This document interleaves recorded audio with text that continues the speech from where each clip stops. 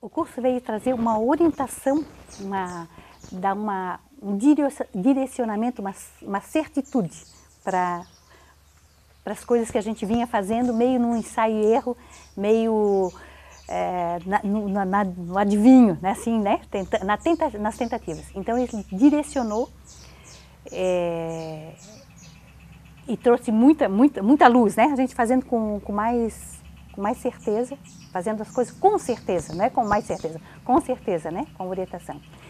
E, e do, do grupo todo, é, eu me senti em casa, né? Me senti com aquele quentinho no coração, é, encontrando os, os parceiros, né? Os parceiros. Isso foi muito gratificante.